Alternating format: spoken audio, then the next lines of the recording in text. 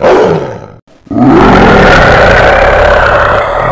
மழைநீர் சேகரிப்பில் இந்தியாவிலேயே முதன்மையான மாநிலமாக தமிழகம் திகழ்வதாகவும் தேவையான அளவு குடிநீர் இருப்பு உள்ளதால் சென்னைக்கு எப்பொழுதும் குடிநீர் தட்டுப்பாடு வராது என்று உள்ளாட்சித்துறை அமைச்சர் எஸ் பி வேலுமணி தெரிவித்துள்ளார். நகராட்சி நிர்வாகம் மற்றும் குடிநீர் வழங்கல் துறையின் சார்பில் பெருநகர சென்னை மாநகராட்சி நகராட்சி நிர்வாகம் பேரூராட்சிகள் சென்னை குடிநீர் வாரியம் மற்றும் தமிழ்நாடு குடிநீர் வடிகால் வாரியத்தின் சார்பில் மேற்கொள்ளப்பட்டு வரும் வளர்ச்சி பணிகள் தொடர்பாக துறை சார்ந்த அதிகாரிகளுடன் உள்ளாட்சித்துறை அமைச்சர் எஸ் பி வேலுமணி ஆலோசனை மேற்கொண்டார். ஆலோசனை கூட்டத்திற்கு பின் செய்தி செய்தியாளர்களை சந்தித்த அமைச்சர் கொரோனா தொற்றை குறைக்க சிறப்பான முறையில் பணியாற்றி வரும் அனைத்து அரசு பணியாளர்களுக்கும் தூய்மை பணியாளர்களுக்கும் நன்றி தெரிவித்தார். உள்ளாட்சித்துறை அதிகாரிகளின் சிறப்பான உழைப்பிற்கு கிடைத்த பரிசாக உள்ளாட்சித்துறை நூத்தி நாற்பது விருதுகளை பெற்றுள்ளதாக கூறியுள்ளார். தொடர்ந்து பேசிய அவர் குடிநீர் திட்ட பணிகளை பொறுத்தவரை ஒன்பது ஆண்டுகளில் ஒன்பதாயிரத்திற்கும் மேற்பட்ட பணிகள் நிறைவேற்றப்பட்டுள்ளதாகவும் மத்திய அரசின் உத்தரவுகளால் தோய்வடைந்திருந்த ஸ்மார்ட் சிட்டி பணிகள் கூட தற்பொழுது வேகமடைந்திருப்பதாகவும் தெரிவித்துள்ளார். பாதாள சாக்கடை திட்டம் உள்ளிட்ட திட்டங்களுக்காக சாலைகளில் தோண்டப்பட்ட பள்ளங்களை உடனடியாக சரி செய்ய